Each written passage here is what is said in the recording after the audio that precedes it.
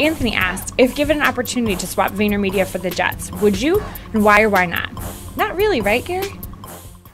Anthony, I would switch VaynerMedia for the New York Jets in a hot second. Um, now, I would take along all the employees and make them all work at the New York Jets, and I'd assume like of the 500 or so peeps that I could probably get like 312 to come over, you know, or I would just create some weird advertising division within the New York Jets that allowed me to keep everybody because I've fallen quite in love. I'm very in love with you guys. Thanks, You're welcome. and so, you know, I've fallen in love with uh, all these peeps, um, but I would do it because I want to own the New York Jets, and that's the bottom line.